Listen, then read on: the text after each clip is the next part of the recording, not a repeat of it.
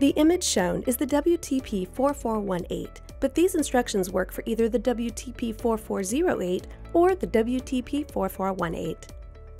Welcome to the WTP4408 and 4418 Timer Photo Controller walkthrough. This step-by-step -step guide will go through the different menu options available to you when programming the controller. Please note that if you ever need to get back to the main menu, the Escape key will always back you out of any menu and bring you back to the main screen. What would you like to learn about the controller? Let's start with adjusting the day and time. Click on A for Setup. Using A and B, select Adjust Date Time from the menu and click on D to enter. This screen shows the existing setting. Click on D to edit. Note, you can press Escape to go back or exit. Using number pads, select the last two digits of the year, for example, 07 for 2007. Press D if OK or A to retry. Follow the same instructions for month, date, hour, and minutes. After setting the minute page, use A and B to set AM and PM, then press D. You are done. Press Escape to get back to the main menu. Next, we're setting daylight savings. Make sure you're at the main menu where you see the time and date. Use the Escape button to get there. Press A to enter Setup menu.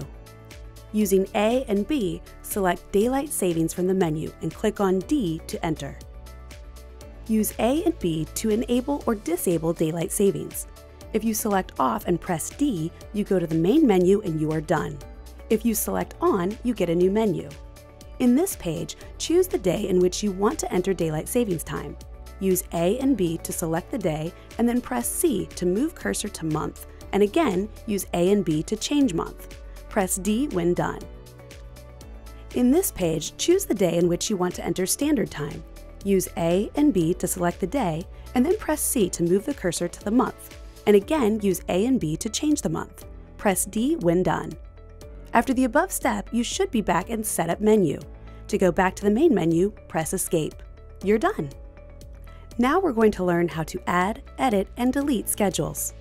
Make sure you're at the main menu. You should see the time. Press B to enter the Schedule menu.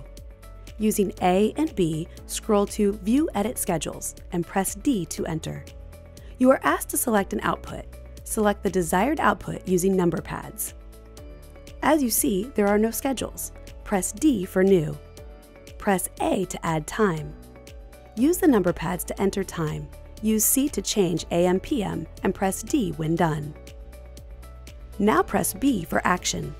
Using A and B, scroll down to any action desired. Press D when done. Press C to select days. All days are pre-selected. Use the number pad to deselect and press D when done. Back to the new output page, you can see the time, action, and days you have changed.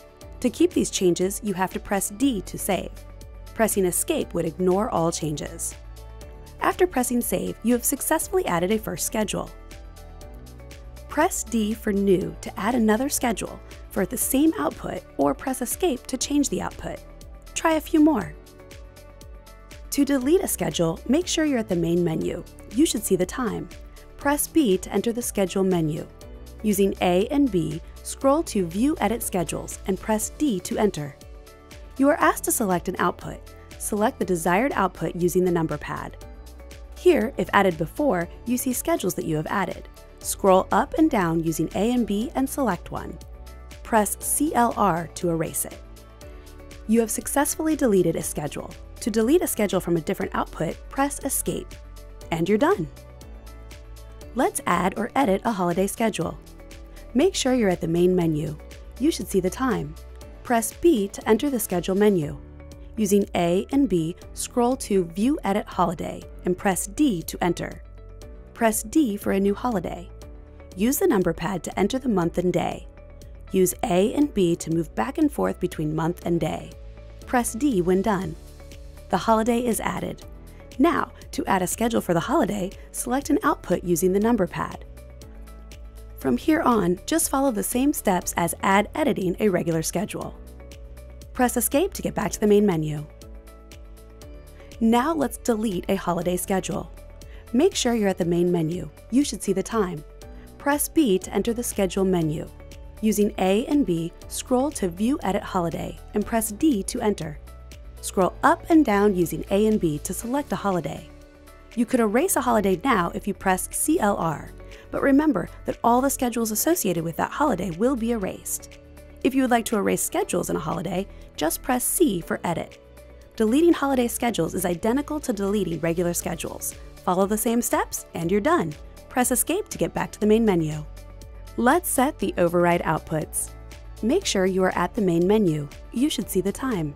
Press C to enter the main menu. Using A and B, scroll to Override Outputs and press D to enter. Use the number pads to select the outputs you want to control manually. Now, if you press C, you will send an off signal to the outputs that are checkmarked. Pressing D would send an on command. This is usually used for testing. And you're done! Press Escape to get back to the main menu. To adjust the photocell setting, make sure you're at the main menu. You should see the time. Press A to enter the Setup menu. Using A and B, scroll to Photo Settings and press D to enter. Using A and B, enable or disable the photocell. Enabling the photocell only activates the reading of the sensor. Press D for OK, and you're done. Press Escape to get back to the main menu. Setting the Photo Test 5S mode. Make sure you are at the main menu. You should see the time. Press C to enter the main menu.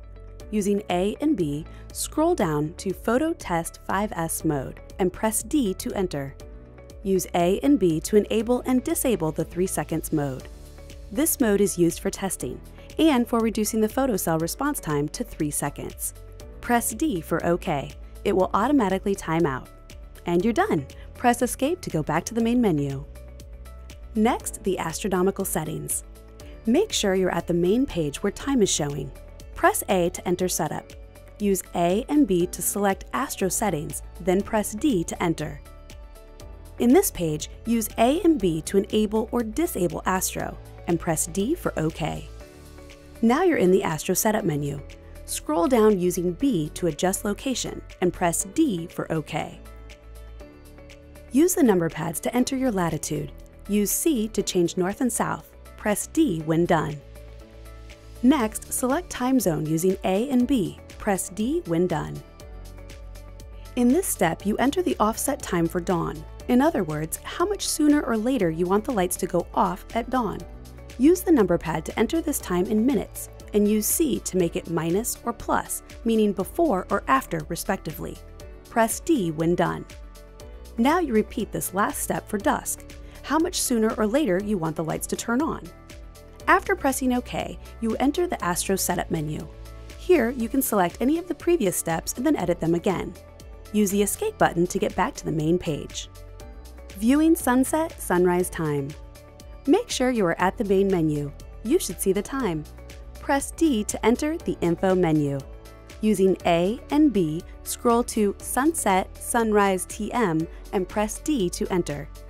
This shows the sunset and sunrise time according to the astronomical settings that you edited earlier. And you're done. Press Escape to return to the main menu.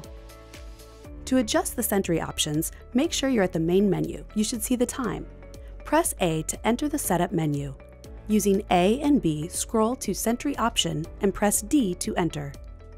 Using the number pads, select and deselect any output to be a Sentry output.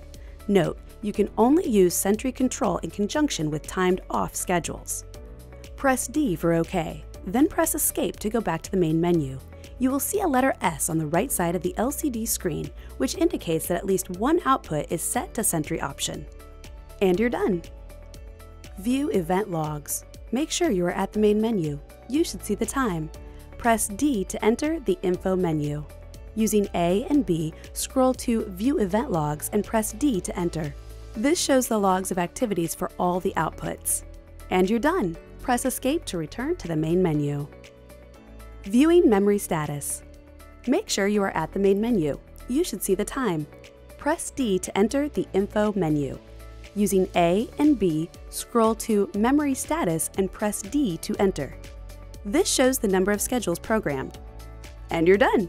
Press Escape to return to the main menu. Next, let's learn how to clear the memory. Make sure you're at the main menu. You should see the time. Press A to enter the Setup menu. Using A and B, scroll to Clear Memory and press D to enter. In this menu, you can delete programs, holidays, and logs. Simply select one using A and B and then use D for OK. Then press A to confirm. From this menu, you can also select Factory Default, which erases all the programming, holidays, and logs. And you're done. Press Escape to get back to the main menu.